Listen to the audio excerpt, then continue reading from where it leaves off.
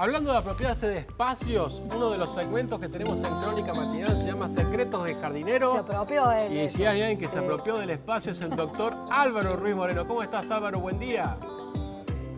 Hola, qué gusto, qué gusto enorme escucharlos nuevamente, chicos. Efectivamente traigo noticias esta vez sobre el jazmín plumago, pero antes quiero recordarle a todos nuestros amigos que siguen el segmento nuestro de jardinería que ante la proximidad ya de la primavera y de las primeras lluvias, va a ser el momento adecuado de las podas de las enredaderas y plantas apoyantes.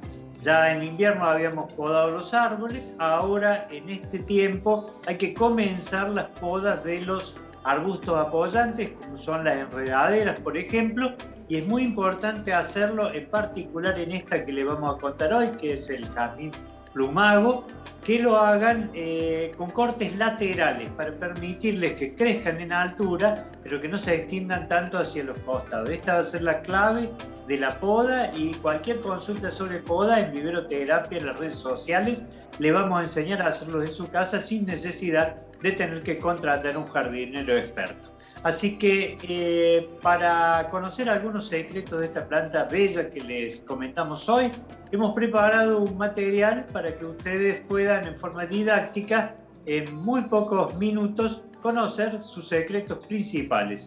Así que si están de acuerdo, queridos amigos, adelante con el material que hemos preparado.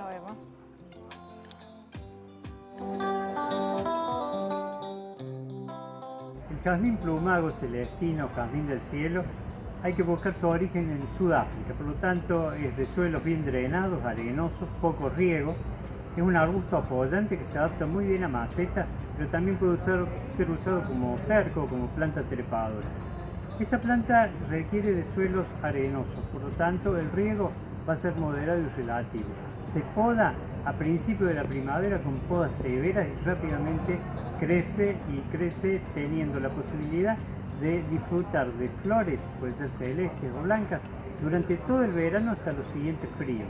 Por lo tanto es apta para el hemisferio sur o el hemisferio norte de acuerdo a esta indicación. Es atacada por algunas plagas, sobre todo hongos, cochinillas y arañuelas, tiene que ser fumigado adecuadamente y con eso va a ser suficiente para mantenerlo. Y un secreto importante de Camino del Cielo es que puede ser usado como cubre suelo, con lo cual usted va a lograr un manto celeste prácticamente durante seis meses.